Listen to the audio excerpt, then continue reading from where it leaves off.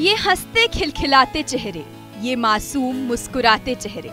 इसमें से किसी के हाथ नहीं है तो किसी के पाँव नहीं। कोई ठीक से देख नहीं सकता तो कोई बोल और सुन नहीं सकता है। लेकिन इनके हौसले बुलंद हैं।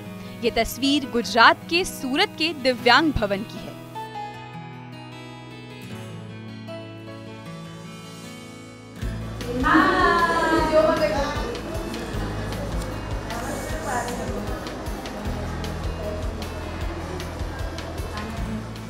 यहाँ दिव्यांग बच्चों को शिक्षा और ट्रेनिंग दी जाती है, जिन बच्चों के कोई अंग काम नहीं करते या जन्म से ही दिव्यांग होते हैं, उनके लिए सूरत का ये दिव्यांग भवन किसी जन्नत से कम नहीं है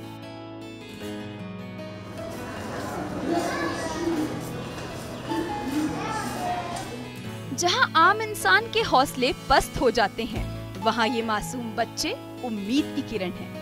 ये वो नहीं हैं जो मुसीबतों से घबराकर हौसले तोड़ देते हैं।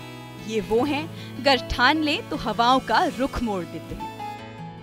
अगर आप अपनी ज़िंदगी से निराश हो चुके हैं और आपको लगता है कि जीवन की सारी समस्याएँ आपकी ही हैं तो इसका मतलब है कि आप सूरत के दिव्यांग भवन में कभी नहीं गए। अगर आप एक बार दिव्यांग भवन पहुँचेंगे तो आपको लगेगा कि जीवन में संघर्ष असल में बहुत ज़्यादा है।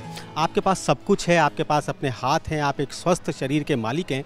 उसके बावजूद आप बहुत सारी समस्याओं से ग्रस्त रहते हैं, परंतु यहाँ आकर आपको पता चलेगा कि किस प्रकार से जिन बच्चों के पास कुछ भी नहीं है, जिन बच्चों को चलना ढंग से नहीं आता, वो किस प्रकार से मुस्कुराते हुए यहाँ रहते हैं।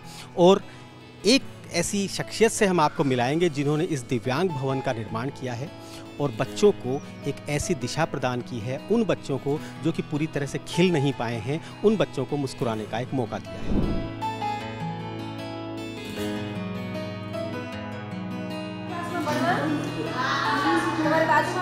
दिव्यांग भवन में ये जो खिलखिलाती मुस्कान दिख रही है, दिव्यांग बच्चों के आँखों में जो सपने हैं उसके पीछे जो शख्स हैं, उनका नाम है कनु भाई टेलर। कनु भाई टेलर का खुद का 75 फ़ीसदी शरीर काम नहीं करता। लेकिन आज इन बच्चों के लिए किसी मसीहा से कम नहीं है। कनु भाई को भारत के चौथे सबसे बड़े नागरिक सम्मान पद्मश्री से नवाजा जा चुका है।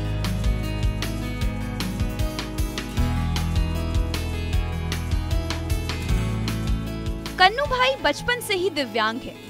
लेकिन उन्होंने अपनी दिव्यांगता को कभी कमज़ोरी नहीं समझा, बल्कि उन्होंने उसे अपनी ताकत बना लिया। भगवान ने मुझे जन्म से दिव्यांग बनाया था। मैंने दिव्यांगता बहुत नज़दीक से देखा और मेरे माँ बाप भी बहुत गरीब थे और मैंने गरीबी भी बहुत अनुभव किया। इसके वजह मैं हमेशा दिव्यांगों के काम करने के लिए मेरी भावना रही थी।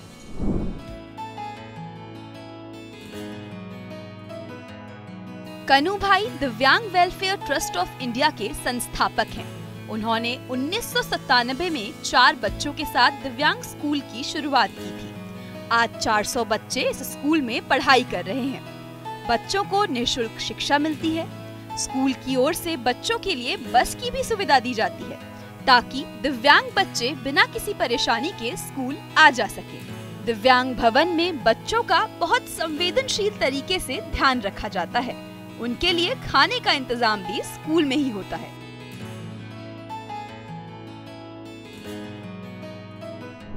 एक एक सात सत्ताणु को चार बच्चों से, दिव्यांग बच्चों से स्कूल चालू हुआ। आज प्राथमिक स्कूल है माध्यमिक स्कूल है, हायर सेकेंडरी है, और एक से बारह दौड़ की स्कूल है।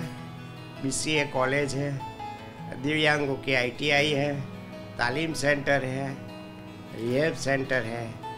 यहाँ हॉस्पिटल, प्रभु जनरल हॉस्पिटल है। उसमें दिव्यांगों को बिना मुंजे ऑपरेशन होता है। यहाँ से अभी तक अड़तीस हज़ार बच्चे लाभ ले चुके हैं।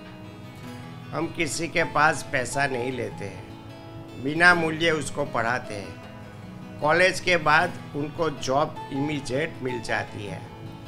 आज कितने बच्चे मेरे अंडर सेक्रेटरी है, डॉक्टर है, वकील है, शिक्षक है, सभी पुलिस स्टेशन में है, बैंकों में है। चार साल हो गया कि दिव्यांग टीवी चैनल चलाता हूँ। उनके माध्यम से कलकत्ता से भी लोग पढ़ने के लिए आते दिव्यांग। कोई बिहार से आते हैं सौराष्ट्र से आते हैं, क्योंकि मैं कहीं जा नहीं सकता हूँ तो दिव्यांग टीवी चैनल के माध्यम से मुझे ये फ़ायदा हुआ है। और मैं समझता हूँ कि अपने देश का एक भविष्य का आप बोलते हैं तो मैं एक यूनिवर्सिटी भी बनाना चाहता हूँ, कि एक यूनिवर्सिटी मैं बन, बना दूँ।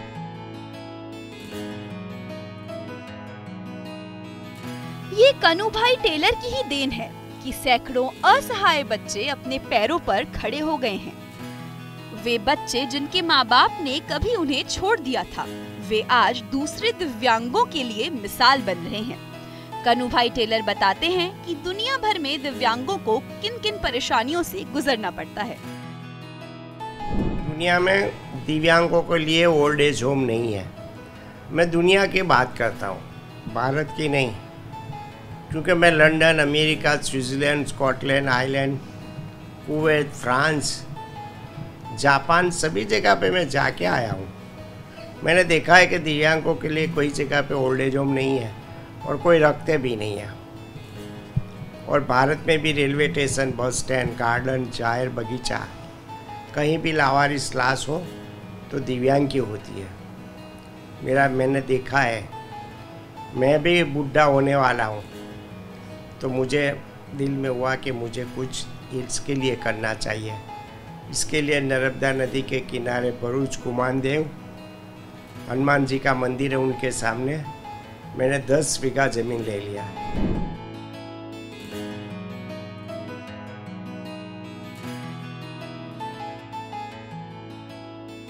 दिव्यांग भवन के बच्चे आज उन बुलंदियों को छू रहे हैं, जिसके बारे में शायद वे कभी सोच भी नहीं सकते थे। ये शरीर से असहाय ज़रूर हैं, लेकिन मन से चट्टान तोड़ने का हौसला रखते हैं। कोई मुश्किल पड़ाव आ जाए तो ये फतेह करना बखूबी जानते हैं। इन नन्ही आँखों में हौसला भरा है।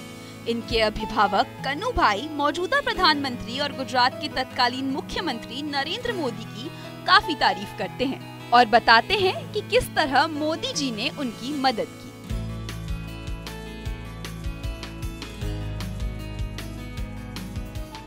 फिर मैं एयरपोर्ट पे गया। तो उसने मुझे देखा वहाँ और बोले, देखो कन्नू लाल मैं आ गया। चलो मेरी गाड़ी में बैठ जाओ, स्कूल पे जाएँगे। मैं बहुत खुश हो गया। ये उनकी गाड़ी मेरे वहाँ आई, सब बच्चों को मिला। तब मुझे पूछा, बोलो, आपको क्या कर, मदद चाहिए? मैंने कहा, सर, मुझे तापी नर्मदा तापी नदी के किनारे मैं स्कूल बनाना चाहता हूँ। तो आप मुझे जगह दो। बोले, जब भी आप जगह दूँगा तो मैं पैसा बात काम का नहीं दूँगा। आपको ही करना पड़ेगा। कोई ग्रांट भी नहीं मिलेगी। मैंने कहा, कोई बात नहीं। उसने इमीडिएट म्यूनसिपल कमिश्नर और मेयर को बोल दिया कि उसको जगह दो।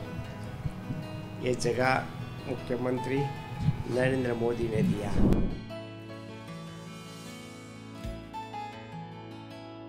अगर आप सूरत के इन बच्चों से मिलेंगे तो यकीनन आपको ज़िंदगी की कीमत समझ आएगी। ये बताते हैं कि मुश्किल कितनी भी बड़ी हो, इंसान के हौसलों के आगे कुछ भी नहीं। कनु भाई की इस पहल ने कई जिंदगियाँ सवारी हैं, और ये सिलसिला जारी है।